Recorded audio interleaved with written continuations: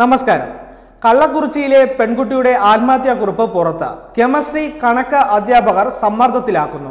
എല്ലാവരോടും പഠിക്കാത്ത കുട്ടിയെന്ന് പറയുന്നു.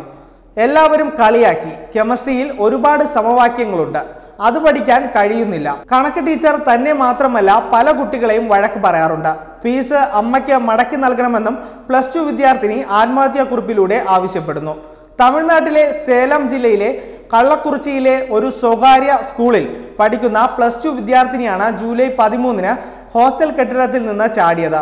രക്തം വാർന്നു കിടന്ന പെൺകുട്ടിയെ ഉടൻ ആശുപത്രിയിൽ എത്തിച്ചെങ്കിലും വഴിമധ്യേ മരണം സംഭവിക്കുകയായിരുന്നു. പെൺകുട്ടിക്ക് പരിക്കേറ്റെന്നാണ് സ്കൂൾ അധികൃതർ വീട്ടുകാരെ ആദ്യം അറിയിച്ചിരുന്നത്. പിന്നീട് മരണവിവരം അറിയിച്ചെന്നും പെൺകുട്ടിയുടെ അമ്മ പറഞ്ഞു. കുട്ടിയെ ആശുപത്രിയിൽ എത്തിച്ചപ്പോൾ തന്നെ മരിച്ചിരുന്നതായി ഡോക്ടർമാർ അറിയിച്ചത് രക്ഷിതാക്കൾക്കിടയിൽ സംശയം ജനിപ്പിച്ചു. പിന്നാലെ നടത്തിയ പോസ്റ്റ്മോർട്ടത്തിൽ ഒന്നിലധികം മുറിവുകൾ രക്തസ്രാവമായിരുന്നു മരണകാരണമെന്നാണ് അറിഞ്ഞത്. തുടർന്ന് ഇവർ മൃതദേഹം സ്വീകരിക്കാൻ തയ്യാറായില്ല. വീണ്ടും പോസ്റ്റ്മോർട്ടം നടത്തണമെന്നാവശ്യപ്പെട്ട കുട്ടിയുടെ കുടുംബം മദ്രാസ് ഹൈക്കോടതിയെ സമീപിക്കുകയായിരുന്നു.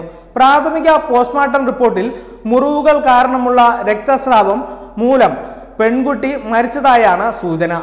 കുട്ടിക്ക് ഷോക്കേറ്റതായും റിപ്പോർട്ടിലുണ്ട്. സംഭവത്തിൽ രണ്ട് അധ്യാപകർ അറസ്റ്റിലായിട്ടുണ്ട്.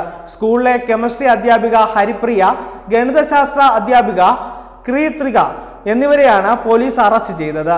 സ്കൂളിലെ പ്രിൻസിപ്പാളും സെക്രട്ടറിയും ഉൾപ്പെടെ മൂന്ന് മാനേജ്മെന്റ് ഉദ്യോഗസ്ഥരെയും നേരത്തെ അറസ്റ്റ് ചെയ്തിരുന്നു. സംഭവത്തിൽ വിശദമായ റിപ്പോർട്ട് നൽകാൻ തമിഴ്നാട് സ്കൂൾ വിദ്യാഭ്യാസ വകുപ്പ് കള്ളക്കുറിച്ചിയിലെ ചീഫ് എഡ്യൂക്കേഷൻ ഓഫീസറോട് ആവശ്യപ്പെട്ടു. കുട്ടിയുടെ മരണത്തിനു പിന്നാലെ സ്കൂളിന് നേരെ ഉണ്ടായ പ്രതിഷേധം അക്രമാസക്തമായതാണ് സംഭവം ഇത്രയധികം ശ്രദ്ധ നേടിക്കൊടുത്തത്. പ്രതിഷേധക്കാർ പോലീസുകാർക്ക് നേരെ കല്ലെറിയുകയും സ്കൂൾ ബസ്സുകൾ തീവയ്ക്കുകയും പോലീസ് വാഹനങ്ങൾ അടിച്ചു തകർക്കുകയും ചെയ്തിരുന്നു. എഴുപതോളം പ്രതിഷേധക്കാർക്കെതിരെ പോലീസ് കേസെടുത്തു.